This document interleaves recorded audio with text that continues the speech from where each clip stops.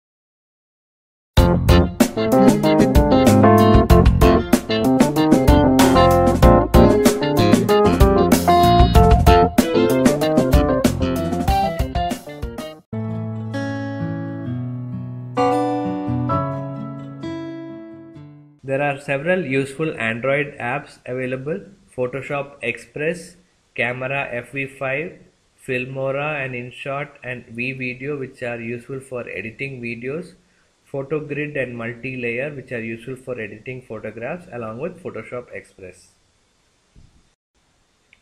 Thank you. This was John Davis Akkara from Aravind Eye Hospital Pondicherry and Westend Eye Hospital Cochin.